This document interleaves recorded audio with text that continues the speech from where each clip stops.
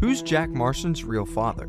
This is a heavily debated topic, so let me know what you guys think below. Well, the identity of Jack's father came into question after fans discovered this camp interaction between Arthur and Jack. Good morning, Uncle Arthur. I have to say, you don't look much like a Marston. What does that mean? Maybe a Williamson or an Escuella. Fans then started questioning the possibilities of Bill or Javier being Jack's father, and there's actually a little bit of evidence to support this. In Red Dead Redemption 1, Dutch explains that the mother of Jack, Abigail, was a prostitute and slept with most of the gang members in the gang, so it's kinda hinted that Bill and Javier have slept with Abigail. And even John himself doubts if Jack is actually his child. There's a fine boy you got. If he's mine. But there's very little evidence to support that Jack has a different father, so for now, John remains the true father of Jack Marston.